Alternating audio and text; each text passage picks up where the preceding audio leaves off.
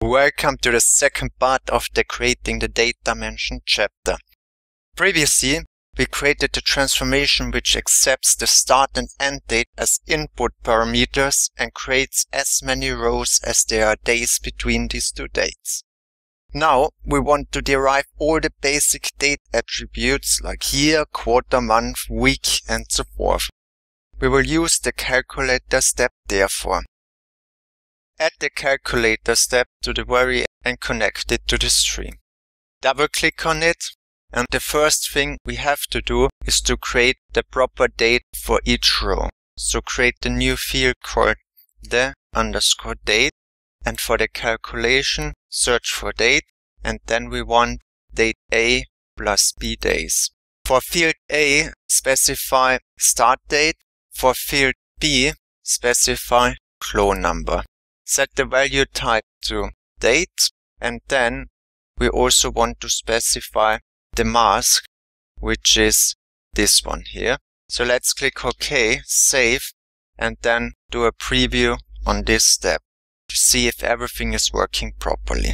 And as you see here, our date is properly incremented every day. So everything is working as we expected. Click close Next, we want to specify the various date attributes. So let's create a new field called the underscore year.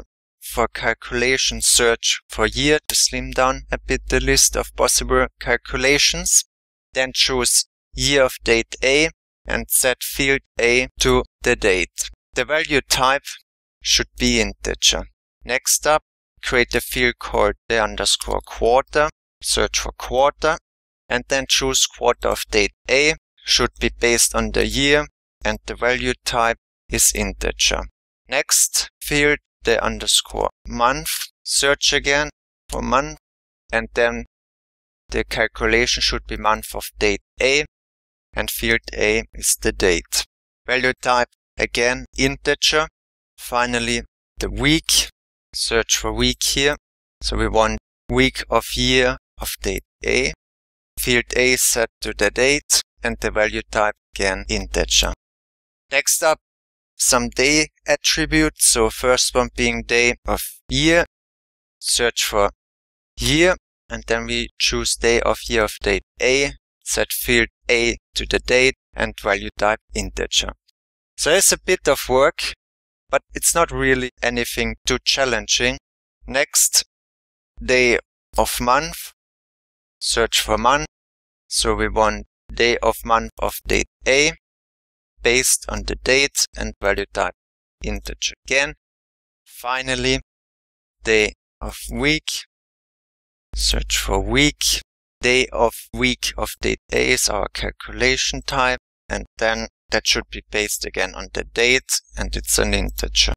So we have derived now in an easy fashion all the possible date attributes. Just click on OK, save this, and we want to check if this is working. So right click on the calculator step and let's do a preview on it. Okay, let's see. So we have, for example, the 1st of January 2013. It's the first quarter, first month, first week, and so forth. Looking good. So let's scroll down a bit to make sure everything is uh, changing respectively. It's all looking very good. So we're happy with the result and now we can click close and we have accomplished the main task of this uh, session, namely deriving all the required date attributes. So to sum up, the calculator step offers a very easy way to derive all kinds of date attributes. So far, that's it for now. I shall see you in a bit when we finish this transformation.